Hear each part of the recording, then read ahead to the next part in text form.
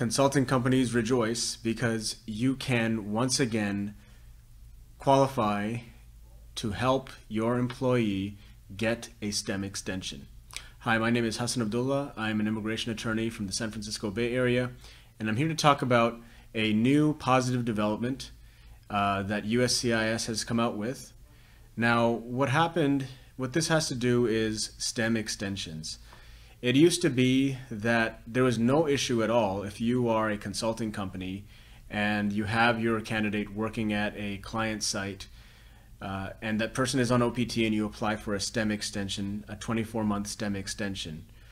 And suddenly, sometime in 2018, around April or so, late April, uh, or in fact, it was it was actually late February, but this uh, update in USCIS's website indicated that staffing and temporary agencies may seek to employ students under the STEM OPT, but only if the they will be the entity that provides practical training experience to the student at its own place of business and they have a bona fide employer-employee relationship with the student.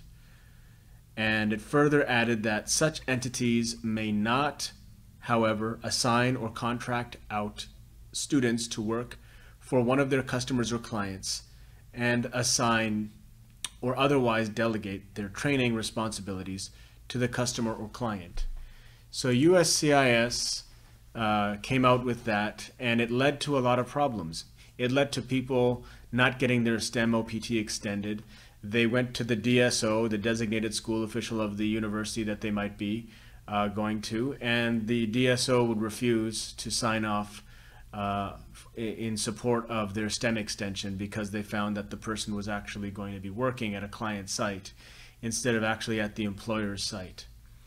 And it's because of this memo. And, you know, another thing is there's a lot of issues, problems with this. There was no, USCIS had no regulatory authority uh, for for this so-called no third-party placement rule. So as long as there's an employer-employee relationship, that should be enough. That's what the STEM rule allowed, the STEM extension rule, all it really required. However, you know, there was no official update, no official memo from USCIS. You know, they didn't go through the proper procedures. They just made an update on their website. And somehow that held so much authority which it shouldn't have, but it did. And you know, the the universities became compliant to it, and uh, for no reason at all, honestly. But anyhow, USCIS has backpedaled, and now if you go to this same link to USCIS's webpage about STEM extensions, they have reversed course, and now they're saying that. Uh, now they're saying STEM OPT participants may engage in training experience that takes place at a site other than the employer's principal place of business as long as all the training obligations are met, including the that the employer has and maintains a bona fide employer-employee relationship with the student. Finally, so they've got some sense and they are now allowing you to be working offsite as long as the training that is happening is being provided by the consulting company in this case. So you just need to make an attestation and you need to clearly identify how you're going to continue to provide training and identify uh, the training objectives that the candidate is going to uh, accomplish and keep track of it. So things are seeming to go back to status quo and now universities are hopefully going to wake up and and continue to allow consulting companies to allow their students to uh, get STEM OPT extensions if they're with a consulting company.